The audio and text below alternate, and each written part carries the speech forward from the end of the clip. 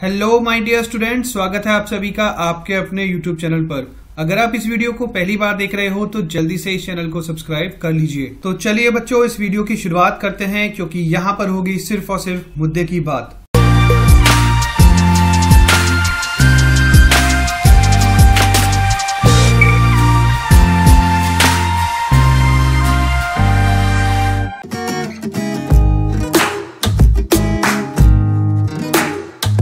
बच्चों, शुरुआत करते हैं क्वेश्चन नंबर फोर से। It is required to make a close cylindrical tank of height one metre and the base diameter 140 centimetre from a metal sheet how many square metres of the sheet are required for the same तो सबसे पहले हम समझ लेते हैं इस question का मतलब क्या है। देखिए, आपको यहाँ पर बनाना है सिलेंड्रिकल टैंक और मेज़रमेंट भी आपको गिवन है। हाइट कितनी होनी चाहिए? वन मीटर और बेस डायमीटर भी आपको गिवन है 140 सेंटीमीटर और किस चीज़ से बनाना है?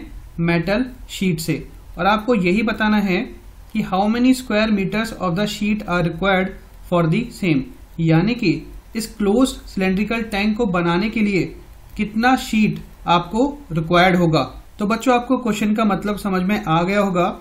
इसका सिंपल सा मतलब है कि सिलेंडर आपको बनाना है। यहाँ पर हमने मान लिया कि जो सिलेंडर आपको बनाना था वो हमने यहाँ पर अज्यूम कर लिया। तो बच्चों, जो भी मेज़रमेंट आपको गिवन है, हमने उसको यहाँ पर मेंशन कर दिया। हाइट है आपकी वन मीटर और डायमीटर है 140 सेंटीमीटर तो आप आसानी से रेडियस कैलकुलेट कर सकते हैं। रेडियस आपकी हो जाएगी। Diameter is divided by two that means 140 centimetre is divided by two you will get 70 centimetre तो आप इसको मीटर में कन्वर्ट कर लेंगे ओके तो इसके लिए आप इसको 100 से डिवाइड कर देंगे and you will get in metres that means 0.7 metre तो बच्चों, अब हमें निकालना है कि इस क्लोज सिलेंड्रिकल टैंक को बनाने के लिए कितनी शीट की ज़रूरत पड़ेगी। तो बेसिकली ये जो आपका टॉप है और बॉटम है लेट से मैं यहाँ पर इसको ड्रॉ कर लेता हूँ तो आपका ये बन जाएगा बॉटम और ये आपका मिडिल पार्ट है, जिसको हम बोलते हैं लेटल सरफेस एरिया ओके तो इसका एरिया इसका एरिया और जो आपका बॉटम है, इन तीनों का एरिया आप ऐड कर देंगे तो आपके पास जो टोटल सरफेस एरिया आता है, वही आपको निकालना है। और वही आपका होगा शीट रिक्वायर्ड क्योंकि ये जो आपका सिलेंड्रिकल टैंक है, ये आपका बना है मेटल शीट से। ओके सो इसका सिंपल सा मतलब है, इन तीनों का एरिया आपको ऐड करके आपको टोटल सरफेस एरिया ही निकालना है। तो हम यहाँ पर लिख लेंगे area of sheet required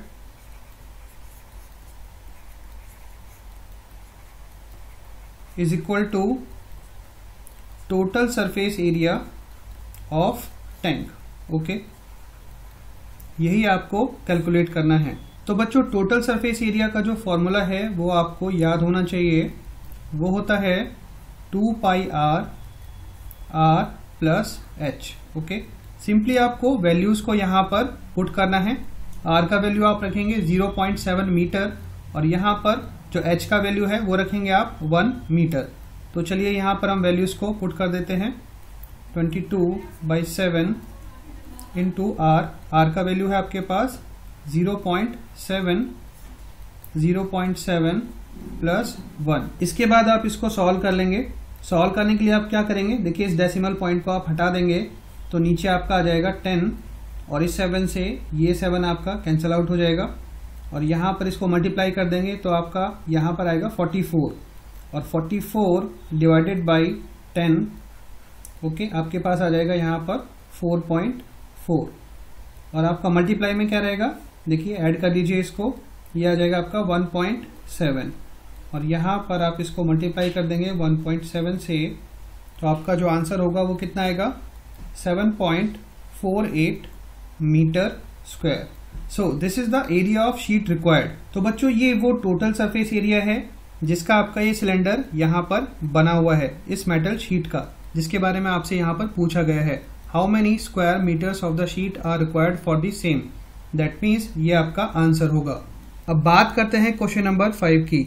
The total surface area of a hollow cylinder which is open from both sides is 4620 square centimeter. Area of base ring is 115.5 square centimeter and height seven centimetre find the thickness of the cylinder तो बच्चों, इस question को understand करने से पहले हम बात कर लेते हैं होलो सिलेंडर के कंसेप्ट की। देखिए, अगर हम इसको डिफाइन करते हैं तो कुछ इस तरीके से हम डिफाइन करेंगे। A solid bounded by two coaxial cylinders of the same height and different radii is called a hollow cylinder इसका सिंपल सा मतलब है, एक ऐसा सिलेंडर जो अंदर से खाली होगा, यानी कि दो कोएक्सियल सिलेंडर्स होंगे। जो अंदर वाला आप देख सकते हैं सिलेंडर, इसकी जो रेडियस है, वो हम स्मॉल आर से डिनोट करेंगे। और जो बड़ा वाला सिलेंडर है, आउटर वाला, उसकी जो आर होगी, यानी कि रेडियस होगी, उसको हम कैपिटल आर से डिनोट करेंगे। अगर हम बात करें होलो सिलेंडर के एग्जाम्पल्स की तो आपने आयरन पाइप्स देखे होंगे रबर ट्यूब्स देखी होंगी, या फिर घर में आपने आमतौर पर देखा होगा रबर पाइप्स जिसमें से पानी आता जाता है। तो आपका रबर पाइप कुछ इस टाइप का होता है, जिसे हम कहते हैं होलो सिलेंडर और यहाँ पर आप देख सकते हैं, ये है आपकी थिकनेस इस होलो सिलेंडर की। देखिए, यहाँ पर भी आप देख सकते हैं, ये है थिकनेस ओके तो ये आपकी होगी thickness of the hollow cylinder बच्चों, अगर हम बात करें इसके एरिया की, यानी कि जो बेस है, इसका एरिया क्या होगा? कर्ड सरफेस एरिया क्या होगा? और टोटल सरफेस एरिया क्या होगा? तो देखिए, अगर हम बात करें बेस सरफेस एरिया की तो आप देख सकते हैं, ये जो आपका आउटर वाला सरफेस है, इसका जो एरिया होगा, वो कितना होगा? पाई आर स्क्वायर क्यों? क्योंकि इसकी जो रेडियस है, वो आपकी कैपिटल आर है। और जो छोटा वाला आपका यहाँ पर सर्कल है या फिर बेस है, इसका जो एरिया होगा, वो कितना होगा? वो होगा आपका पाई आर स्क्वायर लेकिन इस आर को आप स्मॉल आर से डिनोट करोगे। और जो आपका आउटर वाला है, यानी एक्सटर्नल वाला है इसको आप कैपिटल आर से डिनोट करोगे। तो बच्चों, अगर आपको निकालना है बेस सरफेस एरिया तो उसके लिए आप क्या करेंगे? सिंपली आपने जो आपका एक्सटर्नल बेस सरफेस एरिया है, उसमें से आप माइनस कर देंगे इंटरनल वाला। यानी कि आप इस तरीके से उसको लिख सकते हैं। अब देखिए पाई आपका कॉमन आ जाएगा। ओके और आप इसको लिख सकते हैं R square minus small R square और इसी बात को मैंने देखिए, यहाँ पर लिखा है। ओके आप यहाँ पर देख सकते हैं। अगर हम बात करें कर्ड सरफेस एरिया की तो उसमें आपको टॉप और बॉटम का बेस एरिया नहीं लेना है। आपको सिंपली एक्सटर्नल सरफेस एरिया लेना है और इंटरनल सरफेस एरिया लेना है। दोनों को आपको ऐड कर देना है। तो देखिए, अगर आप एक्सटर्नल लेते हैं तो उसमें आपका जो रेडियस होगा, वो आपका कैपिटल आर होगा। और जब आप इंटरनल सरफेस एरिया लेंगे तो उसमें आपका स्मॉल आर होगा। तो आपको क्या करना है? टू पाई आर एच ये आपका हो जाएगा एक्सटर्नल सरफेस एरिया तो आप यहाँ पर कैपिटल आर लिखेंगे। उसके बाद इंटरनल सरफेस एरिया के लिए आपको लिखना पड़ेगा two pi small R H okay इसके बाद आप इन दोनों को ऐड कर देंगे। आपके पास देखिए टू पाई एच जो होगा, क्योंकि हाइट आपकी सेम होगी ओके तो आप यहाँ पर इसको कॉमन ले लेंगे। तो ये आपका हो जाएगा कर्ड सरफेस एरिया अगर हम बात करें टोटल सरफेस एरिया की तो टोटल सरफेस एरिया के लिए आपको कर्ड सरफेस एरिया लेना पड़ता है प्लस टॉप एंड बॉटम का एरिया लेना पड़ता है। तो ये आपका कर्ड सरफेस एरिया है, जिसको हम ऑलरेडी फाइंड कर चुके हैं। इसके बाद आपको देखिए, टॉप और बॉटम का एरिया ऐड करना पड़ेगा। अब मान लो कि ये आपका बॉटम का एरिया है और इसमें आपको टॉप का एरिया ऐड करना है। तो टॉप का एरिया भी आपका सेम होगा। That means pi R square minus small R square अब इन दोनों को आप ऐड कर लीजिए। तो ऐड करने के बाद आपके पास आ जाएगा two pi R square minus R square. इसी बात को मैंने यहाँ पर लिखा है, ओके? तो ये आपका होगा total surface area of the hollow cylinder तो बच्चों, ये आपके बहुत इंपॉर्टेंट फॉर्मूलाज हैं। आपको ये याद होने चाहिए जब भी बात होगी होलो सिलेंडर की। तो आपको ये हमेशा याद होने चाहिए। तो चलिए अब लौट कर आते हैं अपने क्वेश्चन पर। आई होप आपको ये कंसेप्ट समझ में आ गया होगा कि होलो सिलेंडर क्या होता है। तो यहाँ पर देखिए आपको गिवन है total surface area of the hollow cylinder which is 4620 centimetre square आपको हाइट भी गिवन है ओके सेवन सेंटीमीटर और साथ में एरिया ऑफ़ बेस रिंग भी आपको गिवन है 115.5 सेंटीमीटर स्क्वायर अब आपको निकालना है थिकनेस ऑफ़ द सिलेंडर देखिए थिकनेस निकालने का क्या मतलब है? अब इस सेंटर से और यहाँ तक का जो डिस्टेंस है, वो कितना है?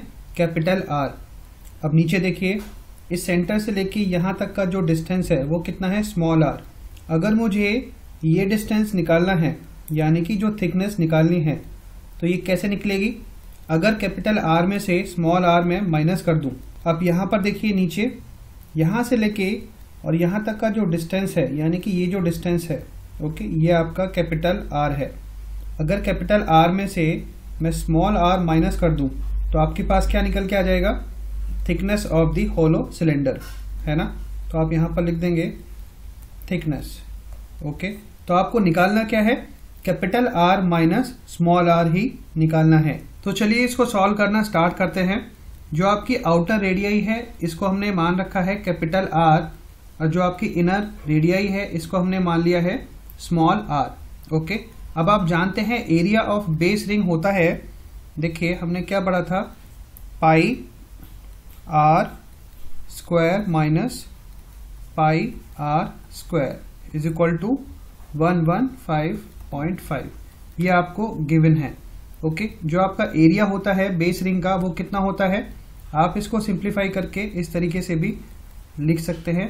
R square minus small R square is equal to one one five point five तो बच्चों, इसका आंसर निकालने के लिए सिंपली आपको जो फॉर्मूलेज हैं, उसमें थोड़ा सा मैनिपुलेशन करना है और आप आसानी से आर माइनस आर निकाल सकते हैं। तो इसको हम मान लेते हैं इक्वेशन नंबर वन अब देखिए, आपको टोटल सरफेस एरिया भी गिवन है। तो इसका जो फॉर्मूला होता है, उसके बराबर आप इस वैल्यू को रख लेंगे।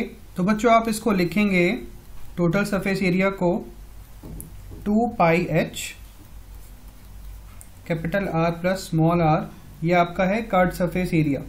इसके बाद आपको टॉप और बॉटम का एरिया लेना है तो उसके लिए आप क्या करेंगे?